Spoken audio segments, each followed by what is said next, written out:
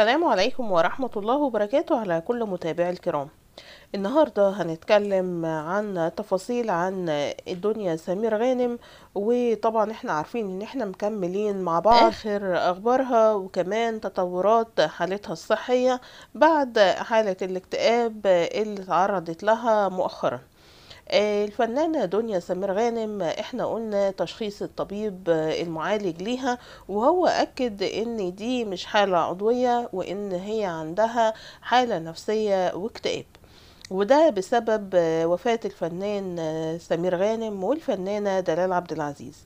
وده إحنا قلناه قبل كده وصرحنا وقلنا إن الدكتور أو الطبيب اللي هو بيعالجها قال إن هي محتاجة لجلسات وكمان آه، أدوية مهدئة عشان ترجع لحالتها الطبيعية تاني بس هتاخد وقت. وبيأكد إن هي لازم كل اللي حواليها وكل الأجواء المحيطة بيها لازم تكون آه، طبعا بتساعدها على إن هي ترجع لحالتها الطبيعية تاني.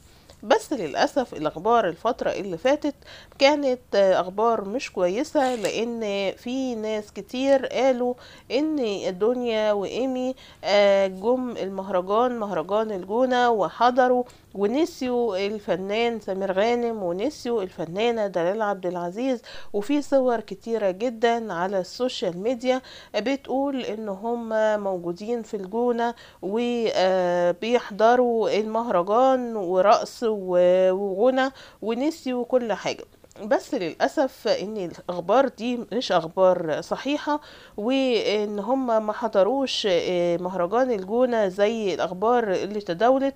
لكن طبعا ده بيأثر على نفسيتها جدا وبيحاولوا إن هم يخفوا عنها أي أخبار زي دي. لأن دي مش هتوصلها إن هي هتخف وترجع لطبيعتها تاني.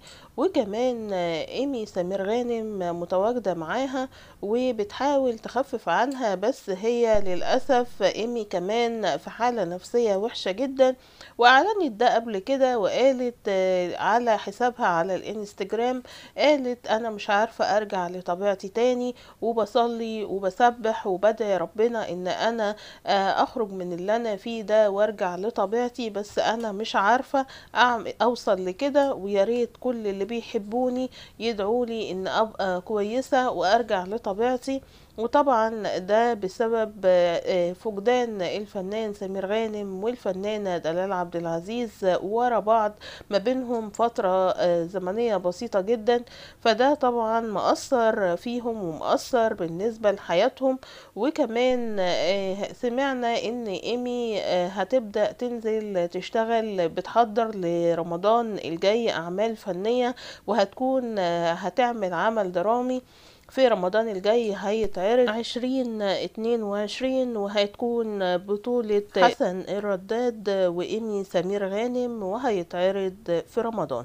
أما بالنسبة لدنيا لسه مفيش أي أخبار بس كان في ممثل صرح وقال إن هي هتبدأ في شهر عشرة وهتبدأ أعمال درامية جديدة واللي هي مأجلاها من وقت ما كان الفنان سمير غانم تعبان والفنانة دلال عبد العزيز.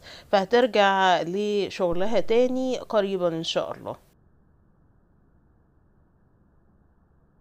ما تنساش تتفرج على الفيديو ده وكمان الفيديو ده وما تنساش تعمل سبسكرايب للقناة وتفعل خدمة الجرس علشان يوصلك كل جديدنا.